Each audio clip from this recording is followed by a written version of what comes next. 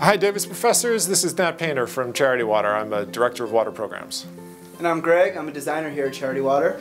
We just want to take a few minutes today on our fifth birthday to say thank you for raising over $1,700 to help bring clean water to uh, women and children around the world. And we're so inspired by your campaign that Nat here has been growing a mustache for quite some time now, but now that the campaign's over, it's time to take it off. So it's going to be a bit of a change for me, but I think I'm ready to finally get rid of this mustache. It's not coming off. That's awesome. Well, this stuff's really on here.